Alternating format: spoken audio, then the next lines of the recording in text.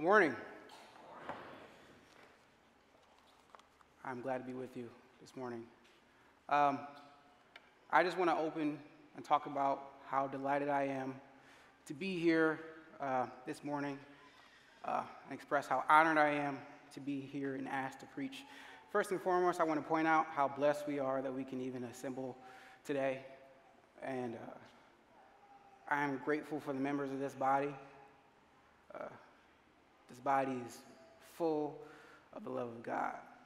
Not merely just a collection of people that share the same political ideas and common interests, but a church built on the rock of Christ and strongly desire to be his bride. I'm very grateful. I'm here today to teach you from a passage from the book of Numbers, uh, chapter 16. And you may ask, why would you want to teach from number 16? My answer is as a new believer reading this chapter for the first time, I found it to be extremely intriguing. And over the years, I noticed God would bring this specific passage back to the forefront of my memory over and over and over again. This passage deals with many special and common themes. Uh, one of the most important is rebellion, which is such a dirty word today, such an ugly connotation. We don't like to hear it. But if we have a correct understanding of sacred scripture, we have to understand that we are indeed rebels. We cannot get past chapter 3 of Genesis without realizing how mankind is constantly opposing or flat out disobeying God's authority. First John says, if we say that we have no sin, we are deceiving ourselves and the truth is not in us. So look, either God is a liar because he tells us in his word, for all sinned and fallen short of the glory of God, or we are sinners. There's really no other option. How many of us have attended some kind of theology class, either truth or life, something along the lines of that? Well, from these classes, hopefully you remember that God is immutable, which means that he cannot change his character, thus, he cannot lie. Since he cannot lie, we are indeed sinners. Our passage today is usually a tougher passage to understand because it needs some context and background knowledge. Often we try to explain away passages like these because somewhere in our hearts we find it difficult to accept God as being loving Father, righteous judge, and fountain of eternal truth. Sometimes us as Christians sinfully oversimplify passages such as these to make God on the left hand side of the Bible seem less gracious and less loving as God on the right hand side of the Bible to fit our own personal understanding of morality. It is my prayer that we can go through this passage together with open minds and open hearts. So, if you could please stand with me for the reading of God's word in the chapter from uh, number 16, chapter 16. Oh, chapter, yeah, number 16, sorry. This is the word of God and it is eternally true. Now Korah, the son of Izhar, the son of Kohath, the son of Levi, with Dathan and Abiram, the sons of Eliab, on the sons of Peleth, sons of Reuben, took action. And they rose up before Moses, together with some of the sons of Israel, 250 leaders of the congregation, chosen in the assembly, men of renown. They assembled together against Moses and Aaron and said to them, You have gone far enough, for all the congregation are holy, every one of them, and the Lord is in their midst. So why do you exalt yourselves above the assembly of the Lord? When Moses heard this, he fell on his face, and he spoke to Korah and his company, saying, Tomorrow morning the Lord will show who is his and who is holy, and he will bring him near to himself. Even the one whom he will choose, he will bring near to himself. Do this take censers for yourselves, Korah and all your company, and put fire in them. Lay incense upon them in the presence of the Lord tomorrow. And the man whom the Lord shall choose be the, and the man whom the Lord chooses shall be the one who is holy. You have gone far enough, sons of Levi. Then Moses said to Korah, Hear now, you sons of Levi, is it not enough for you that God, the God of Israel has separated you from the rest of the congregation of Israel to bring you near to himself, to do the service of the tabernacle of the Lord, to stand before the congregation and minister to them? And that he has brought you near, Korah, you and all your brothers, sons of Levi, with you. And you are seeking the priesthood also? Therefore, you and all your company are gathered together against the Lord. But as for Aaron, who are you to grumble against him? Then Moses sent summons to Dathan and Abiram, the sons of Eliab, and they said, We will not come up. Is it not enough that you have brought us out of a land flowing with milk and honey, to have us die in the wilderness, but you would also lord over us? Indeed, you have not brought us into a land flowing with milk and honey, nor have you given us an inheritance of the fields and vineyards. Would you put out the eyes of these men? We would not come up. Then Moses became very angry and said to the Lord, Do not regard their offering. I have not taken a single donkey from them, nor have done any harm to them. Moses said to Korah, You and all your company be present before the Lord tomorrow, both you along with Aaron. Each of you take his fire pan and put incense on it, and each of you bring his censer before the Lord. 250 fire pans. Also, you and Aaron shall bring his fire pan. So they took each. So they each took his own censer and put fire on it, and laid incense on it, and they stood at the doorway of the tent of meeting. Thus Korah assembled all the congregation against them in the doorway of the tent of meeting, and the glory of the Lord appeared to all the congregation.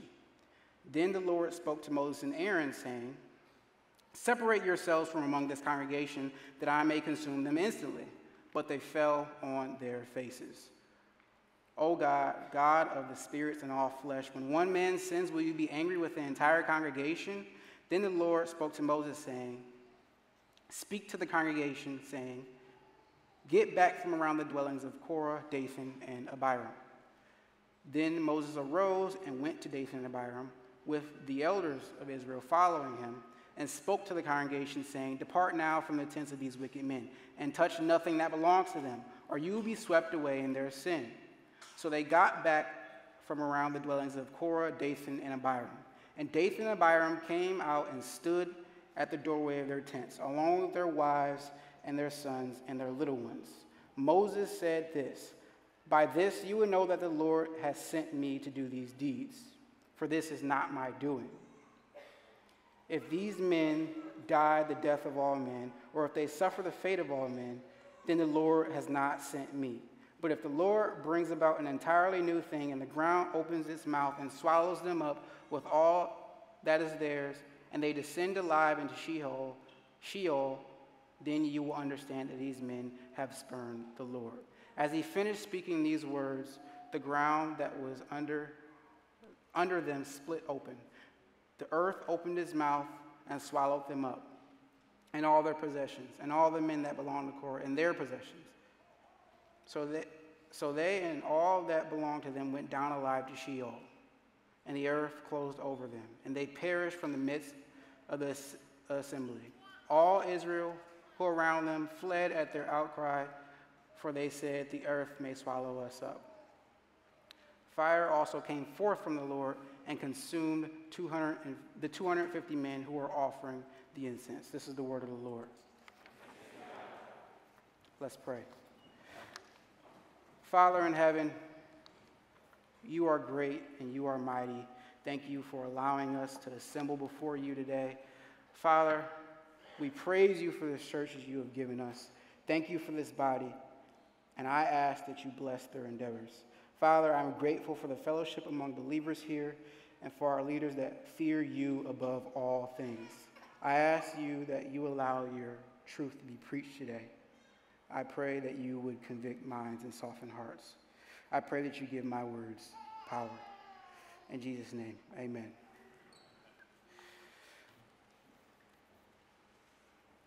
Going back to the beginning of our passage, you see some names listed Korah, Izhar, Kohath, and Levi. The first key fact we are introduced about the man named Korah is that he is a son of Levi. If we read Exodus chapter 6, we see a genealogy. Just to make things clear, in our personal study of Scripture, we are never to skip these chapters with genealogies. This is why they are so important. To make this easy for you, I sent a chart to the projection team uh, to make this more simple. Um, Jacob's son Levi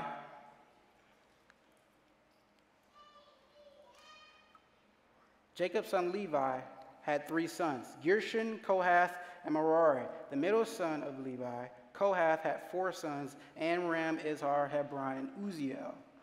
The first son of Kohath, Amram, is the father of Moses and Aaron, and the second son of Kohath, Izhar, father Korah. All these men are descendant of, descendants of Levi, making them all Levites, as you can see. We see from our, par- our passage that Korah had gathered together 250 prominent men to challenge Moses' authority. Let's take a look at Korah's complaint in verse 3, where he says, You have gone far enough, for all the congregation are holy, every one of them, and the Lord is in their midst. Why do you exalt yourselves above the assembly of the Lord?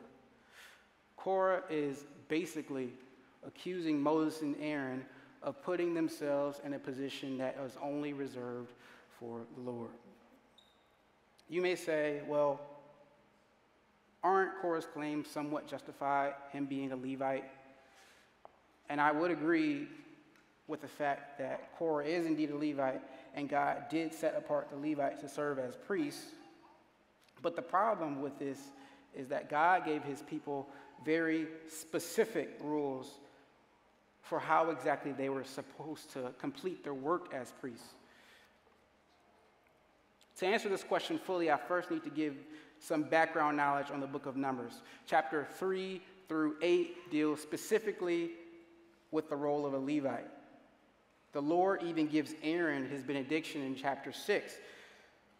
What they are to do, how are they to carry themselves, how they are to complete their tasks. This refers to how they handle the equipment belonging to the tent of meeting, how to complete certain offerings, settle civil disputes, accomplish the worship service. If you have your Bible, stick your finger in this chapter because we'll come back to it. But turn to chapter 4 of Numbers. In chapter 4, verses 4 through 20, the Lord meticulously lists all the things that Aaron and his sons are to do.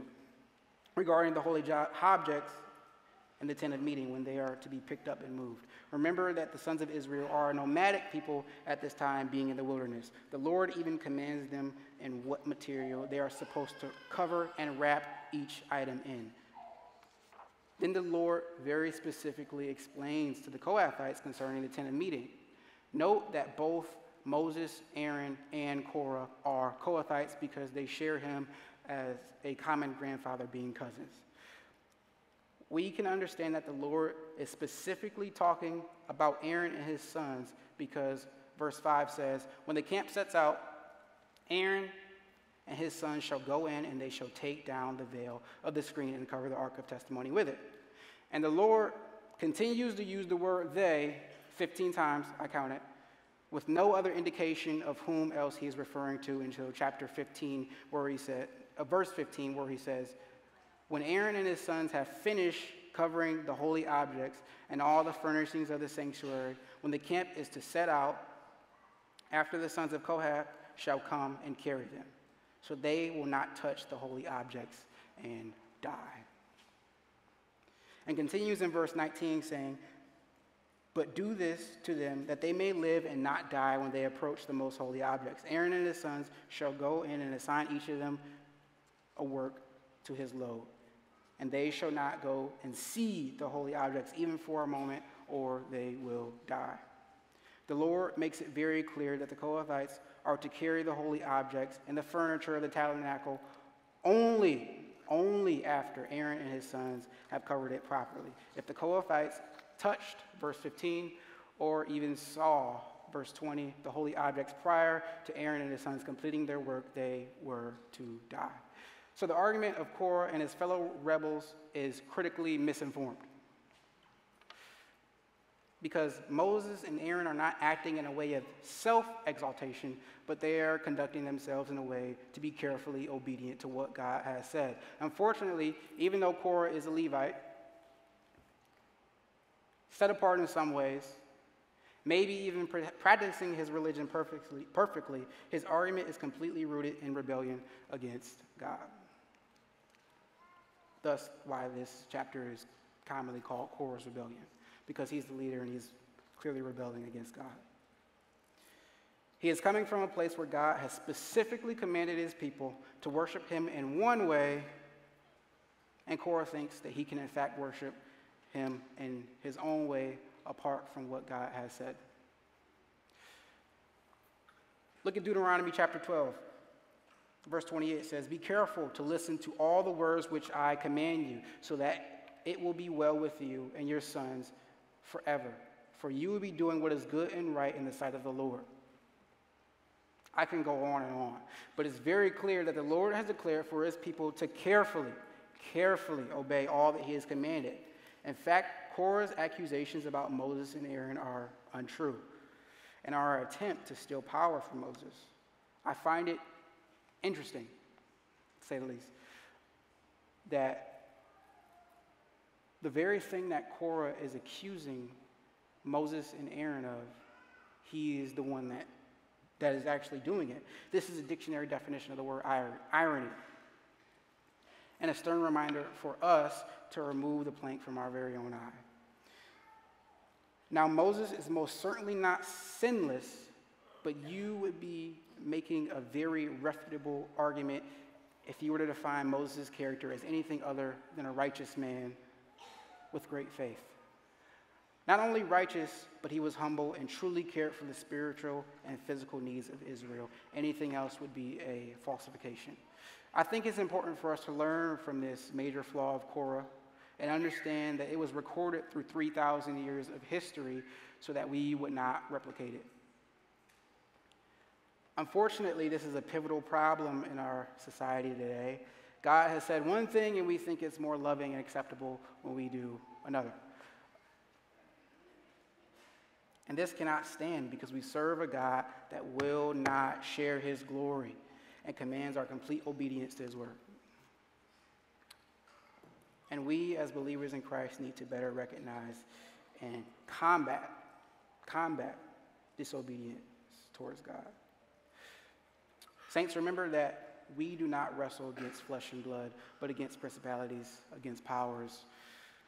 Satan is the father of discouragement, the leader of disappointment, the emperor of empty promises, the ruler of all rebellion against God, and the king of all liars. To combat the sin of Korah, we have to believe and understand this. Satan will always promise you with more power than what is possible for him to give because he's simply a liar and a coward. These words are synonymous. All cowards lie, and all uh, liars are cowardly. Look at Matthew chapter 4, where Jesus goes out to be tempted in the wilderness. Again, the devil took him on a very high mountain and showed him all the kingdoms of the world and their glory, and said to him, All these things I will give to you if you fall down and worship me. There's absolutely nothing in the Bible that indicates that Satan has the authority to give kingdoms or glory away. This is because they are not his to give away. We hold firm to the belief that Satan is a created being and is in no way capable of doing anything remotely close to this. So, thus, we can conclude that he is lying. If Satan would try these things on Jesus, the Son of God, of course, Satan would attempt to whisper into our lives, into our families, into our communities, into our college groups, into our universities, into our governments, and into our societies. According to the scriptures, he would do and say anything to get people to turn away from what God has deemed to be holy and right. If you don't believe me, look at some examples. God demands us to continuously, continuously teach our children about his word. Deuteronomy chapter 6. Satan whispers that it should be illegal for us to even mention God in schools, and we need more separation between church and state.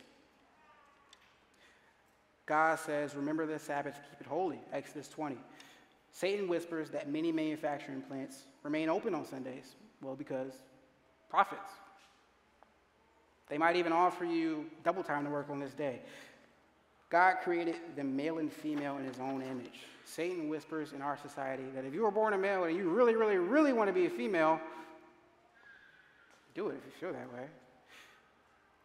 God commands that we give generously, generously to the, le- to the less fortunate. Satan whispers, well, he looks like he might buy drugs with it. And besides, he can get a job everybody's hiring. I can go on and on, but the fact of the matter is that we must base our understanding of what we should be pursuing in life based on what God has said. This statement is countercultural. Truth is, saints, that the Bible says, resist the devil and he will flee from you. He is a coward and a liar.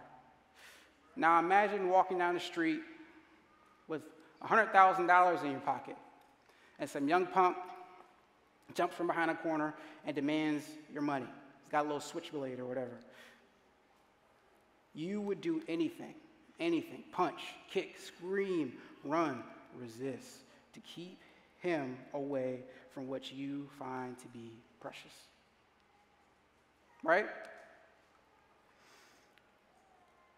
Why don't we see our holiness and our purity the same way? Satan may have whispered into Korah's ear, but Korah did not resist. He was filled with the desire to further his own kingdom. Let's continue with our main passage. When Moses hears their complaints, he falls on his face. Verse 5. And there is some significance to this. First, first, this is not the first time Moses has done this. He does it earlier in Numbers 14 when the people rebelled. Secondly, it's almost as if that he knows any rebellion against him or against Aaron's priesthood is not merely a rebellion against him himself, but against the Lord God, Yahweh. Thoroughly understanding that this is an issue of God's authority, he goes directly before God and lets him decide whom he has chosen. Instead of pounding his chest to try to prove his authority with his own power, Moses decides to move out of the way and let God show who is his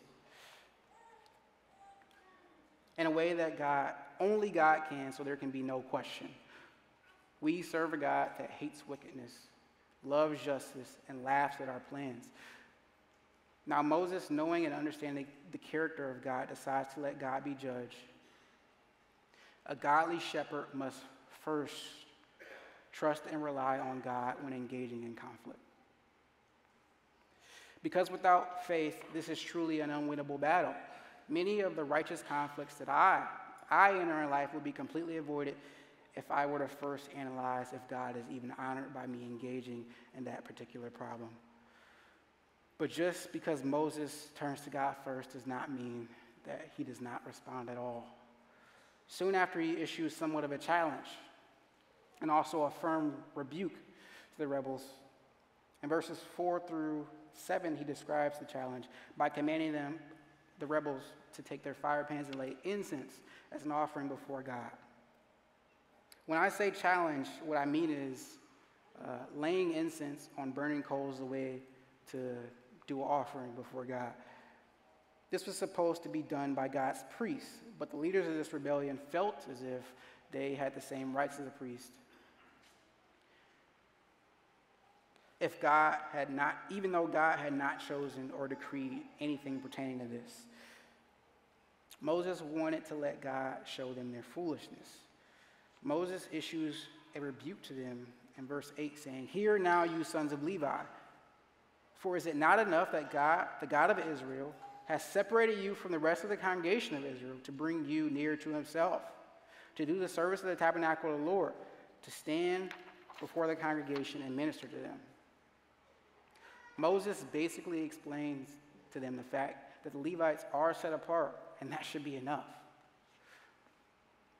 He confronts them with the fact that they are gathered together against the Lord, not against Aaron or himself. In verse 12 of our chapter, Dathan and Abiram indicate that they would have rather been in Egypt than to be in the wilderness. You can see this because they referred to Egypt as a land flowing with milk and honey. in contrast to the wilderness being a place where they are just to die. How quick they were to forget how the people of Israel were greatly afflicted in the slavery that they were under in Egypt, and how God saved them from the tyranny of Pharaoh. Also, how quick are we to grumble when God removes us from the slavery of our sin? We are just, just like them in some ways. Not only do they express their disapproval for leaving Egypt, but they decide to attack, to attack Moses' leadership from a distance, saying that Moses has lorded over them. Now, this angers Moses, and he finally, finally defends himself. Note how long it takes for Moses to defend himself. When I am in any conflict, the first thing out of my mouth is how the person accusing me is wrong. We all do this, and it exposes our true motivations. Being made, us being made to appear faultless rather than God being glorified. But Moses does not let his anger paralyze him and continues with the challenge at hand concerning the fire pans and incense. Verse 19 Thus Korah assembled all the congregation against them at the doorway of the tent of meeting. I just want you to notice how swiftly, swiftly this rebellion has grown. It started with 250 prominent men, men of renown. Cancerous. At this point in time, Korah was able to assemble the entire congregation against Moses and Aaron. Be on the alert when following what is popular or the it crowd. Korah was able to lead the entire congregation of Israel in a rebellion against the Lord. And God desired to punish them in the same way that Korah would be punished. But Moses, the faithful shepherd, intervened and pleaded with God for the sake of his flock he and Aaron fell on their faces. This is so important. This is so important. As any parent, as any husband, as any employer, as any youth leader, as any Bible leader, period, as any leader in general, this verse should light a fire, a fire under our behinds. Why? Because we don't do this. Not the way that we should. We are complainers. As soon as someone under us does something wrong, we just complain and blame God. We do not take into account that we don't spend enough time on our faces in prayer on their behalf. A godly shepherd prays for God to be merciful on the behalf of the sinners in his flock. Not only do we do this corporately every single Sunday, but I have some examples in Scripture. Look at Job chapter 1. It mentions that Job was a blameless, upright, fearing, upright man, fearing God and turning away evil. In the beginning of the chapter, it lists all the possessions that God had given him, including seven sons and three daughters. He was so wealthy that his seven sons would hold a feast for every day of the week. But look at what verse 5 says. When the days of feasting had completed their cycle, Job would send and consecrate them, rising up early in the morning and offering up burnt offerings according to the number of all of them. For Job said, Perhaps my sons have sinned and cursed God in their hearts. Thus Job did continuously. Job, a God fearing man, continuously prayed for his sons just in case, just in case, that they sinned against God. We must continuously pray for our children, our coworkers, our friends, especially if they do not know Jesus nor love his bride, the church. In the book of Ezra, the children of Israel are recur- returning back to Israel from living under the Babylonians in, in captivity. Ezra sets off before them as their leader to go and rebuild the temple of God in Jerusalem. The Bible says Ezra was skilled in the law of Moses, and the hand of God was upon him. But in Ezra chapter 9, Ezra is informed that some of the men of Israel, including some of the priests, had taken foreign wives from the nations around them. What's the problem with this? Well, God specifically commanded them that they were not to do this. Deuteronomy chapter 7.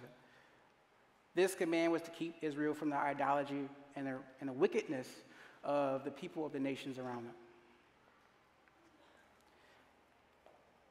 Ezra finds out that his people that he are leading has done this, and he tears his robe. And he tears the, head, the hair from his head and says, Oh my God, I am ashamed and embarrassed to lift up my face to you. My God, for our iniquities have risen above our heads, and our guilt has grown even to the heavens. And he later says in verse 15, O God, God of Israel, you are righteous, for we have been left an escaped remnant, as it is this day. Behold, we are before you in our guilt, for no one can stand before you because of this. Ezra prays for God to be merciful to his people. He prays for God.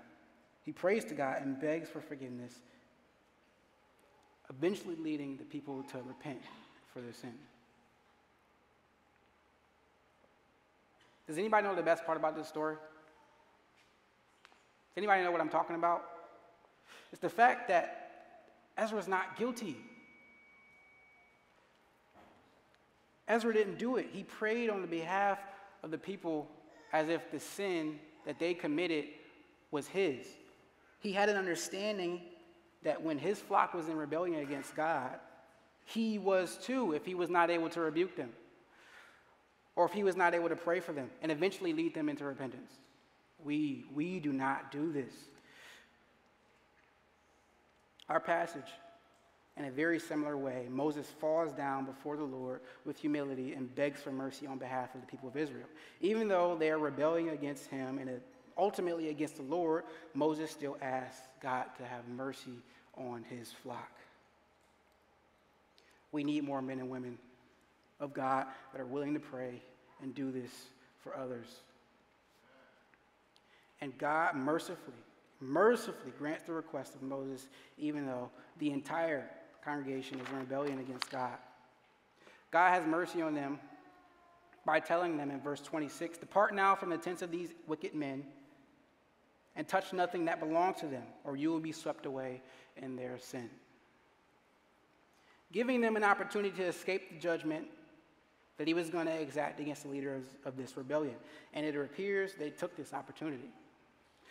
Korah, Dathan, and Abiram, and all they owned were swallowed up by the ground and sent directly to Sheol for their roles in inciting this rebellion against God.